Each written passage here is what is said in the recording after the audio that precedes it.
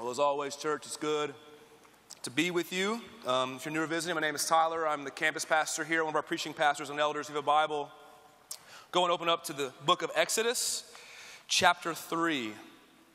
The book of Exodus, chapter 3. Um, if you're new or visiting, we're continuing our series through the book of Exodus. That's what we do with the Austin Stone. We go through books of the Bible, verse by verse. And so we're in the book of Exodus. We're going to be there. It's long, maybe forever. I don't know. We'll see. But we're in the book of Exodus, and we're going to be there for quite a while. And today, today we find ourselves in a very pivotal moment, both in Exodus, but in the entire scope of the Bible. Like the, text today is one of those texts that's especially important.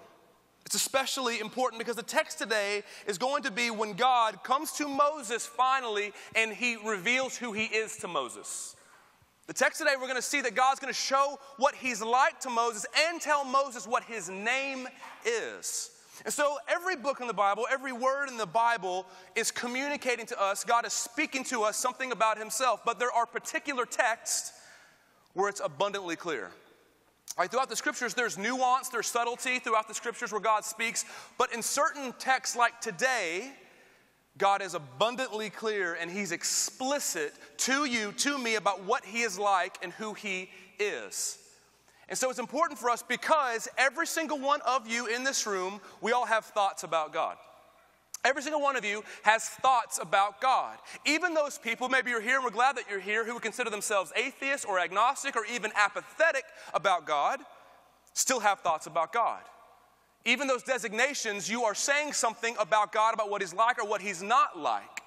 And so when you have a, a text like this that tells you, hey, God is saying, this is who I am, you and I have to think critically and introspectively and say, does God's description of himself line up with my description of him? Is what God communicates about himself, does it line up with what I think and feel and have experienced with him? Because even though our culture and our society may be more than ever probably not associating itself with religions, conversations about God still happen all the time. Even though people may not like religion necessarily or institutional churches or these types of things, people still want to talk about God. You see it all the time. And so, if I were to ask an average person in this church or in this city, what is God like? What do you think they would say? If I just said, blanket, what is God like? They would have a lot of different responses. If I narrowed it, so that's kind of vague, it's kind of general, but what if I narrowed it? What if I said, no, no, no, what is most essential about God? Like, what's that thing about God that if you miss this one thing about God, you'll never understand what He is like? I think that would probably narrow the responses a little bit. I think probably in our context, in our day and age, the dominant attribute that someone would use to describe God would be love. But what we're going to see in this text is that there is an attribute of, about God in this text so clear so essential, and it's an attribute that I don't think many of us would use to describe God. It's an attribute that if I ask even people in this church, give me the most essential thing about God, I don't know that many of us, many of us would use this attribute to describe Him. And the attribute that we're going to learn about today is the fact that God is holy. The fact that God is holy. And this attribute, this reality of God, is something that has been probably forgotten, maybe even unspoken, and I would dare to say unwanted in our day and age. I think deep down we don't even know that we want God to be holy because of all of the preconceived notions about what we think that means. But this is highly problematic for us. See, you may even agree, you may even agree that God is holy. You may say, Yeah, I totally agree with that, but the fact that we don't ever talk about it, the fact that it never comes up shows how little we value and how little we understand who God is. And this is a big deal. Because if you lose the holiness of God, here's what begins to happen you begin to lose God Himself. If you don't understand the holiness of God and you don't have a proper value of His holiness, you will eventually lose God Himself. It eventually will happen because the truth that God is holy is at the core of who He is. The truth that He's holy is at the core of who He is. It shapes and defines everything else about Him. It's so essential to him that if you don't understand his holiness, you will be, uh, be unable to understand anything else about him. See, if you don't understand his holiness, you'll never understand his love. If you don't understand his holiness, you'll never understand his love. Why? Because his love is holy and it's like no other. You won't understand his love because it's a holy type of love. It's distinct from your love. And so you'll begin to put love in your categories, but it's not like those loves. It's holy, it's different, it's distinct. You won't understand his power it's a holy power. You won't understand his wisdom or his knowledge or his grace or his mercy. Why? Because they are holy. You won't understand the cross of Jesus Christ if you don't understand the holiness of God. And so when we think about holiness, it's one of those terms that can be vague and amorphous. You don't really know how to define it. Let me give you a very succinct, clear definition of the holiness of God. Here's what it is there is nothing and no one like God. If you were to sum up, what does it mean for God to be holy? It means there is nothing and no one like God. He is utterly unique. There's no one who's even close to him, there's no one who's even a close second. He's utterly alone in his worth and his value.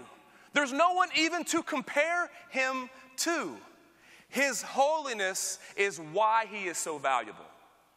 The reason God is so valuable is because he is so holy.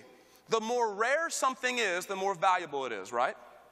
The more rare something is, the more valuable it is. Well, there is nothing more rare than God. Therefore, there is nothing more valuable than him read you this quote about the holiness of God by John Piper. It's going to be on the screen behind me.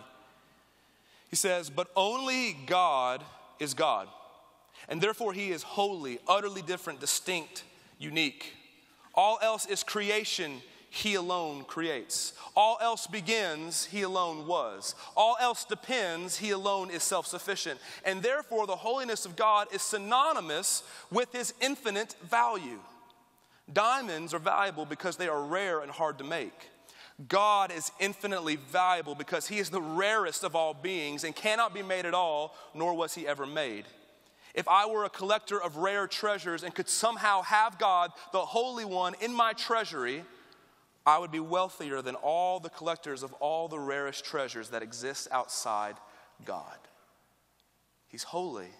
So, when God gives you His love, what is He giving you? He's giving you a love like no other without equal.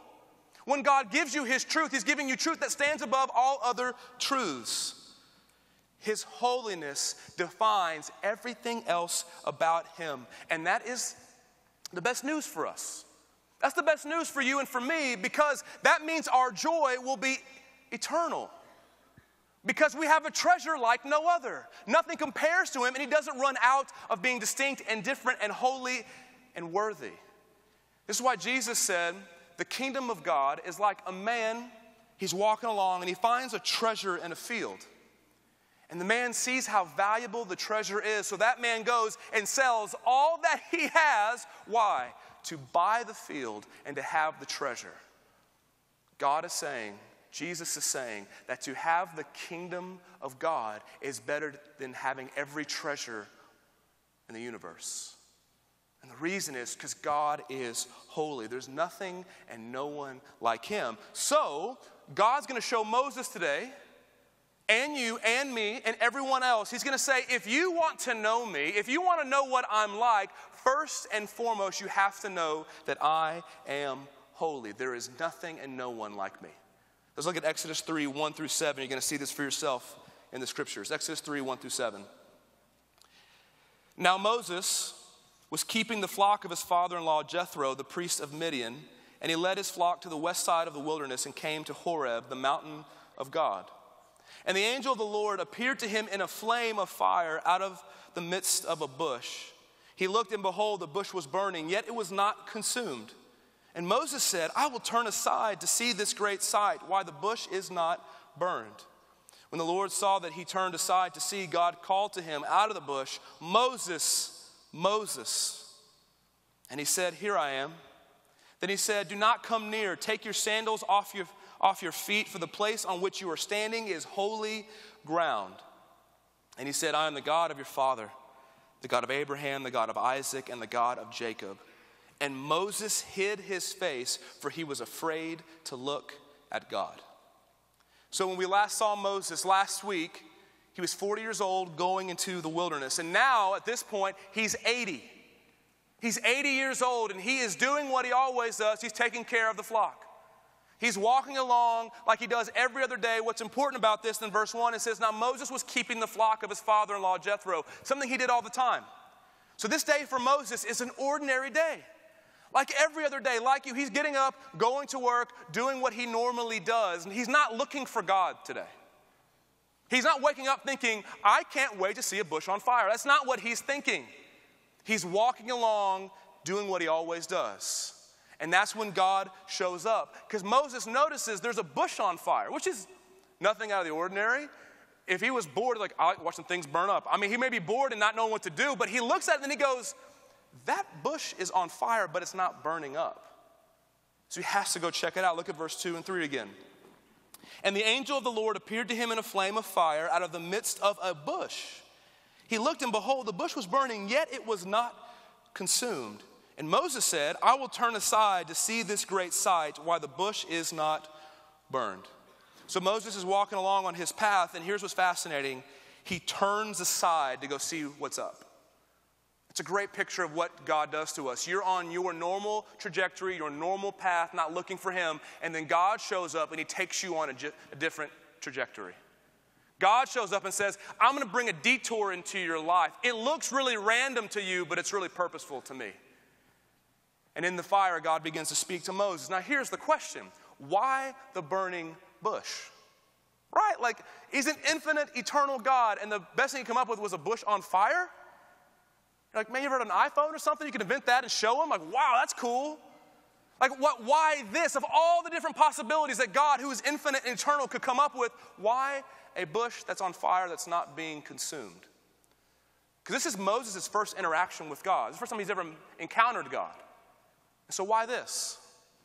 Because God wants to show Moses how holy he is. The reason for the burning bush, God wants to show Moses a picture, a symbol of his holiness. See, a bush that's on fire, that's not being burned up or consumed, is inexplicable in our world. Right? It's inexplicable. It makes no sense. We have no category for fire that doesn't burn bushes. We have no category for a bush that, when it's on fire, doesn't burn up. We can't explain it. I mean, how would you explain that? Well, this is where people may look at this text if you're skeptical and say, there's no way this could be true. This is why the Bible is not real. Because, I mean, look, this is impossible. And that's a way to explain it. Or it could be that God's there. Or it could be, no, the reason this is happening because God is here. And here's what God is communicating to Moses and to you and to me. You don't have a category for a bush that's on fire that doesn't burn up. God's saying, that's what I'm like. You don't have a category for me. I, I, don't ex- I don't fit your pre existing categories as to what I'm like and what reality is like. No, he's showing Moses, I am a being who exists outside of your reality. You couldn't understand me if I tried to explain myself to you in all the ways that I could, so I'll give you a really simple picture to show you I'm inexplicable in your categories. He's saying, I'm holy, I'm different, I'm like no one else that you know. So he, used the burning bush, but then later on in this text, he shows Moses his name. He tells Moses his name and shows him how holy he is. See, right after this text, God tells Moses, Hey, I'm going to save Israel in all these ways. And then Moses asked him his name. Look at verse 13. Then Moses said to God, If I come to the people of Israel and say to them, The God of your fathers has sent me to you, and they ask me, What is his name? What shall I say to them? God said to Moses, I am who I am. And he said, Say this to the people of Israel I am has sent me to you. So Moses is talking to God.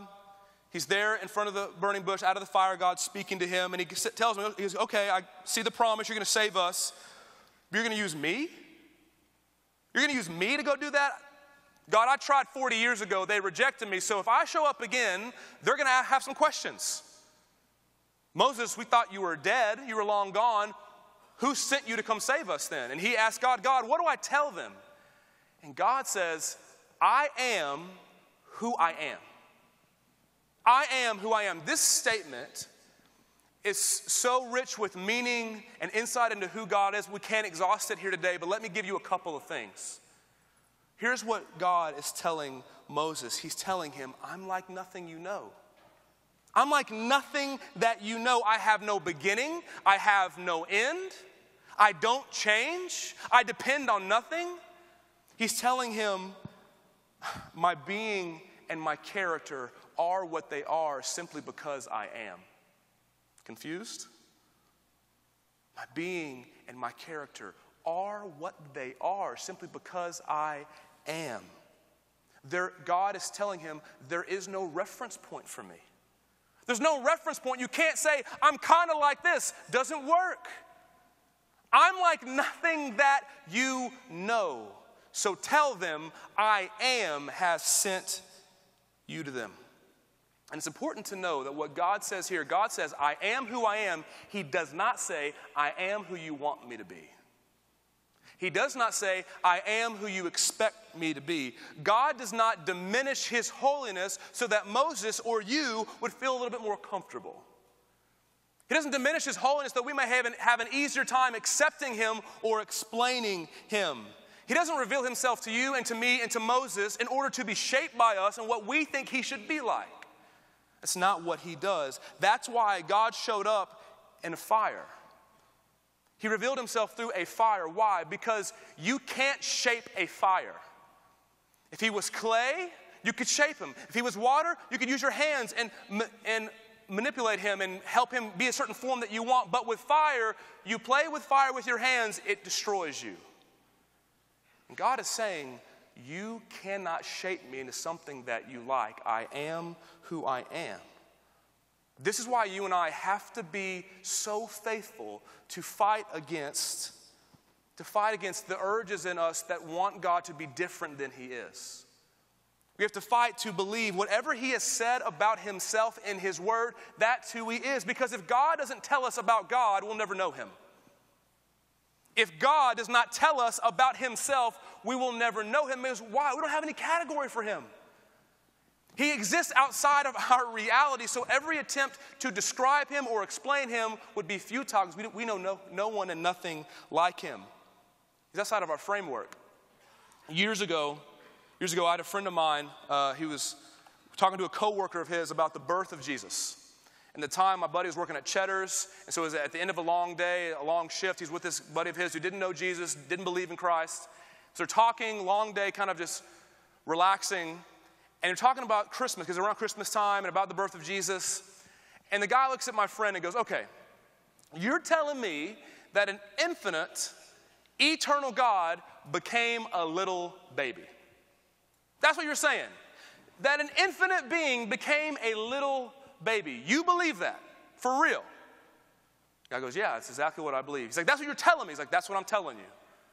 The guy just like slumped back in his chair. His mind was like blown and all he could do was utter a four letter expletive that I can't say.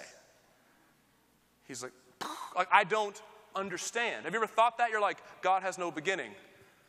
What does that mean? He didn't have a beginning, so he's always. Well, and your brain starts hurting. We don't have a framework for this God. We have no categories for him, but in the scriptures. Just so you know this, in the scriptures, he gives us a picture of himself in a way we can understand. This is why the Bible's so important because he comes to us in words we can understand to tell us what he is like. That is why whatever he says about himself, even if everyone else doesn't like it, even if even deep down you don't like it, our responsibility is to receive his testimony and say, God, only you know what you're like. You exist outside my categories and my reality. That's why you need to be wary and uneasy when someone presents to you some sort of new knowledge about God, some sort of new spirituality or way of following Him. Because most so called new ways of knowing God and new perspectives on Him are nothing more than man making God into His image. Nothing more than us saying, we sure would like God to be this way, let's make Him that way. But there's no one and nothing like Him, so when He speaks, you and I, you know what we do? we receive. And we shape our lives, our hopes, our dreams, our families, our churches around Him. He's not bending to you and to me and what we'd like Him to be like. No, we bend to Him. He has a special category in our lives. And so this is what happens. Moses says, sees this holy God, and then God tells him, I'm so holy. I'm like, nothing you know. And when you approach me, when you encounter me, you can't approach me the way you would anyone else. You can't just come strolling up to me in a cavalier manner as if I'm like anything else in the universe. No, God tells Moses, if you're going to approach me, you have to do it on my terms. Look at verse 4. Verse 4. When the Lord saw that he turned aside to see, God called to him out of the bush, Moses, Moses. And he said, Here I am. Then he said, Do not come near. Take your sandals off your feet, for the place on which you are standing is holy ground. And he said, I'm the God of your father, the God of Abraham, the God of Isaac, and the God of Jacob. And Moses hid his face, for he was afraid to look at God. So God calls out, Moses, Moses. And he starts walking towards him. He goes, Stop where you are. Take your sandals off your feet, because you're not just standing on some random patch of dirt in the Middle East. You're standing on holy ground because the presence of God is here. The presence of God is here. And he's telling Moses, You can't just approach me the way you would anyone else. You can't just walk up and stroll and think it's no big deal. No, he says you need to be aware that you are in the presence of the most valuable, most powerful being imaginable. You're here with me right now. And God says, You meet me on my terms. He does not say, Moses, what do you feel like doing? How would you like to honor me today? He says, This is what you do. Take the sandals off your feet as a sign of respect that you know you are not talking to any normal being. You're talking to God Himself. Talking to God Himself. See, God wanting to know Moses and God speaking to Moses does not lessen His holiness. It doesn't somehow mean that He's cool with you talking to Him however you'd like. No, it means that that's part of His holiness. See, God doesn't need you, He doesn't need me and yet he wants to know us. And yet, this God who needs no one, needs nothing, is like no one, and like nothing, calls out to you and calls out to me. Moses, Moses, come here. Stop where you are. You can't get any closer. I'm God, but I still want to know you. But then the question becomes how can a people like you and a people like me know a God like him? Like, How is it possible? Because God made you and me in His image. He made Moses in His image. And yet, what do we do? We reject His authority and we trample over His holiness. Humanity's default is to treat God as less than holy. You've heard the term sin before. You've heard the term sin before. And one of the aspects of sin, one of the root causes of sin, is we don't view God as holy, we view Him as common. We view him like everything else in our lives. He's one of many things to consider. When you read the Old Testament, it's sad to see what we're like. God would show up in power for Israel and do incredible acts of power. He'd save them from Egypt. He'd heal them of sickness. He'd rescue them again and again and again, and yet their default response over time was to treat him as common.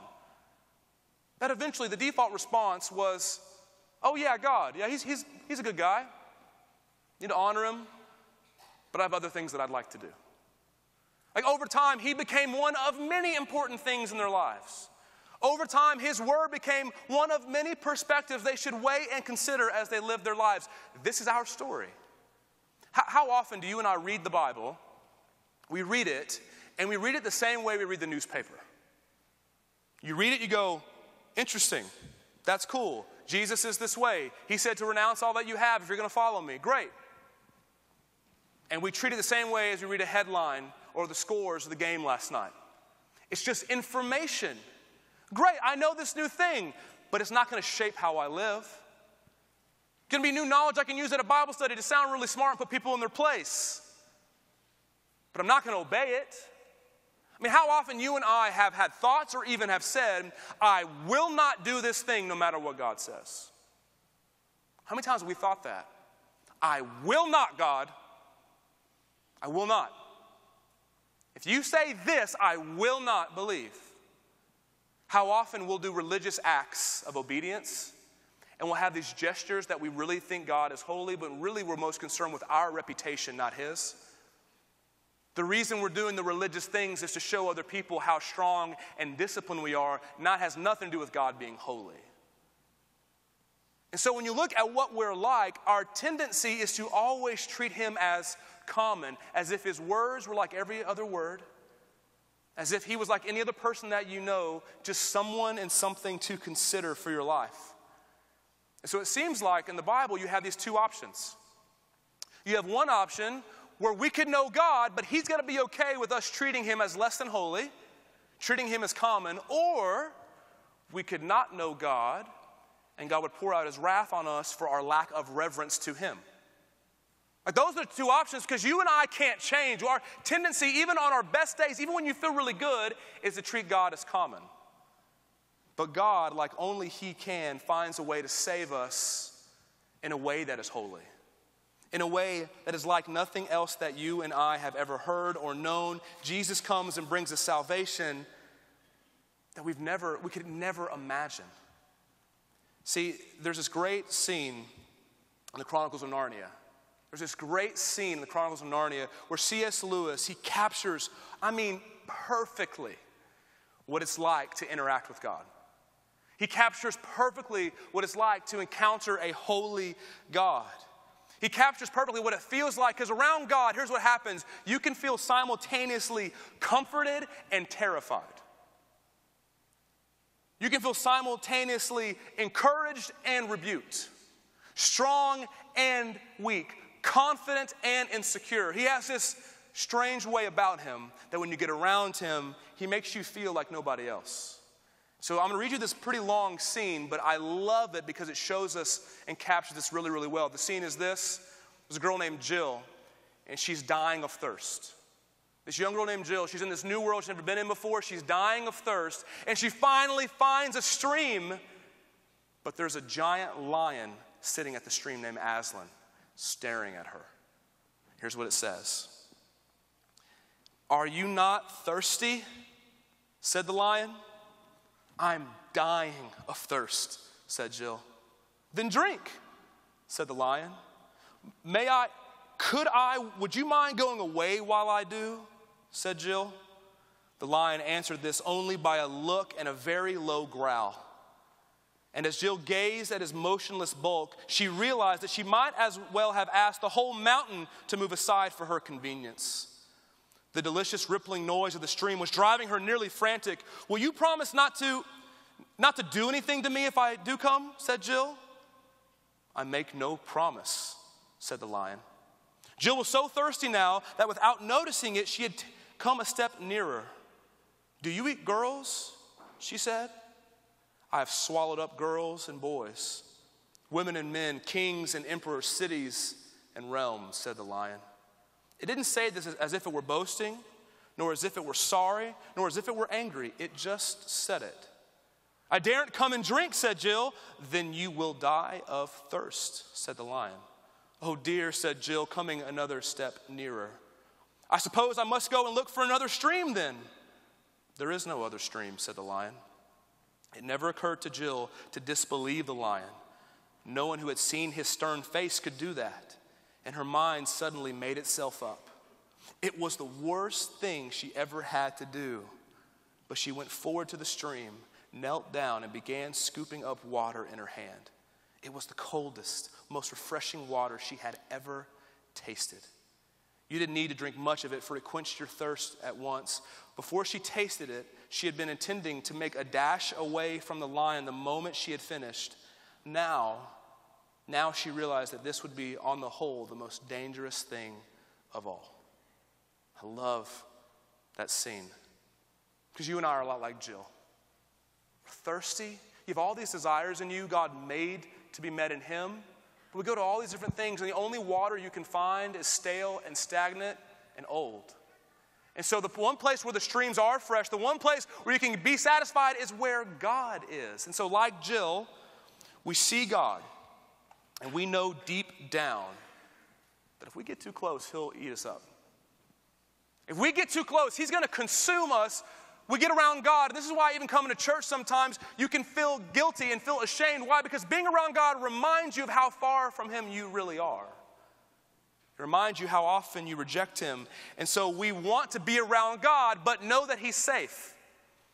We want to be around God and want Him to promise that you're not going to gobble us up. I love that line. She says, Well, promise you won't eat me. I make no promise. Well, have you eaten girls before? I've devoured everyone before. Well, like, what do you say? What do you do?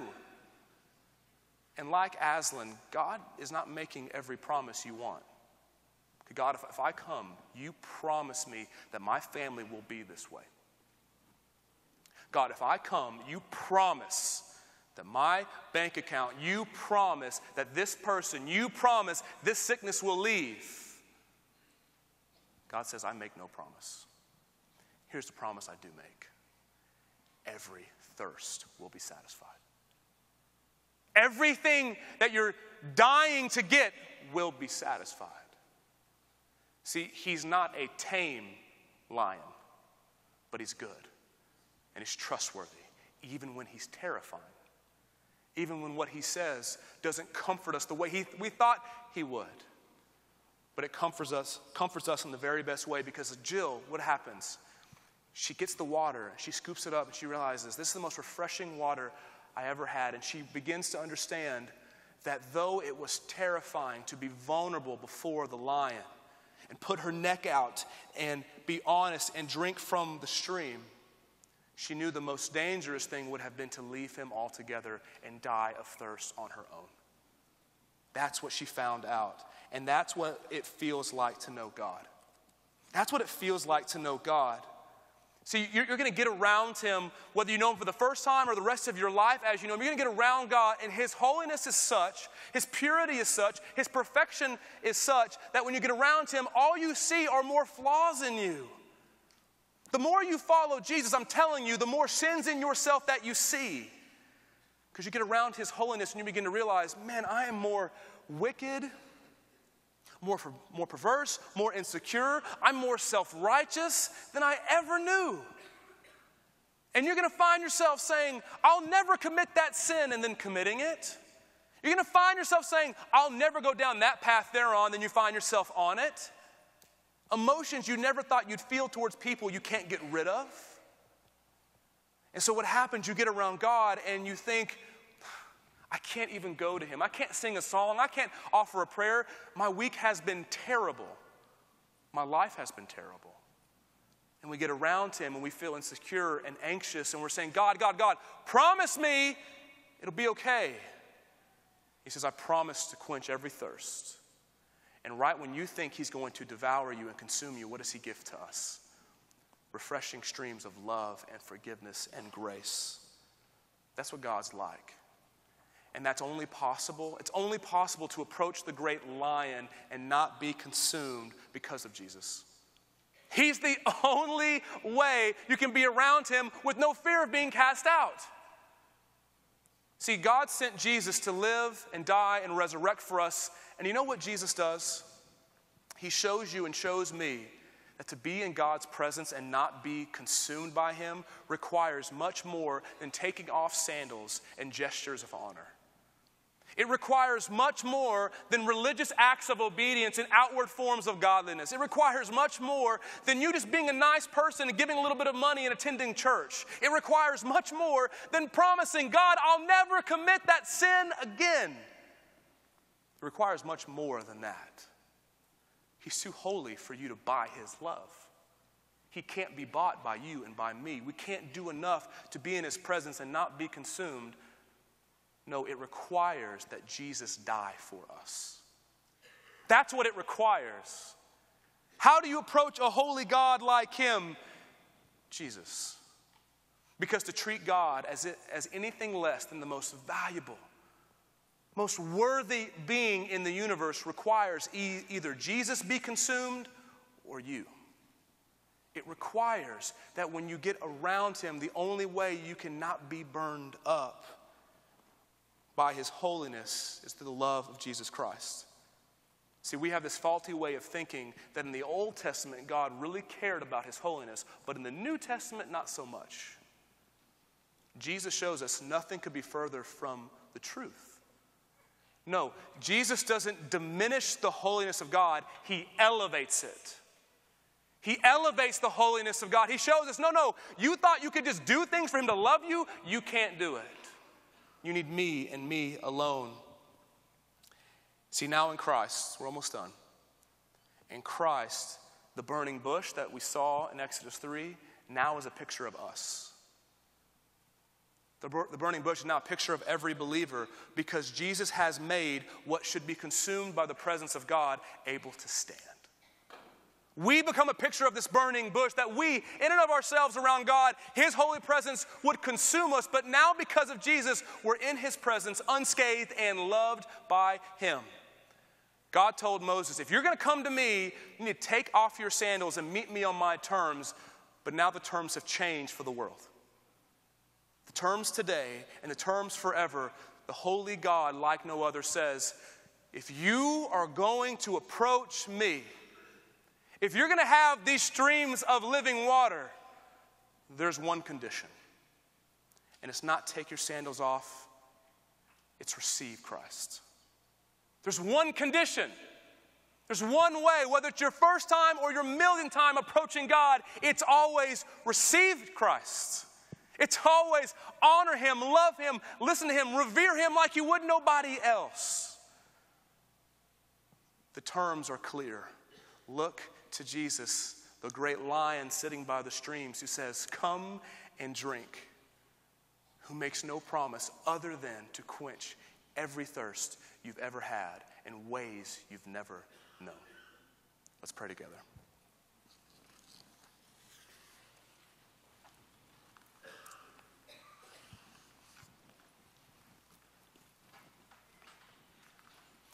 Father, we can't even begin to understand how holy you are, how great you are, how massive you are, how spectacular you are. And so, God, even in this time, our tendency is to not know how to respond.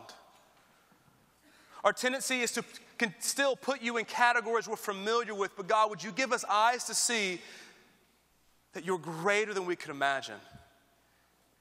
That you're more pure than we could imagine, that your words are like no other word, your character like no other character, and the happiness you bring to those who find you like no other. God, I want to understand and value your holiness more than I do. God, I want us as a people to treat you with reverence and awe like nobody else. God, I want your word when we hear it and when we read it We'd receive it like the word from the living God, not just some random person. That it's truth and there's life where you are. And that God, you would receive the worship that is only due your name. That our lives and our songs that we sing would reflect there is no one like our God. And that we be reminded the joyful spot of being small in front of a great God being small, but loved by this great God. Oh God, would you do a work in us as a people where the city would see how holy you are and be in awe that you would send your Son after us. God, we ask these things in Christ's name. Amen. Amen. Church, let's stand together.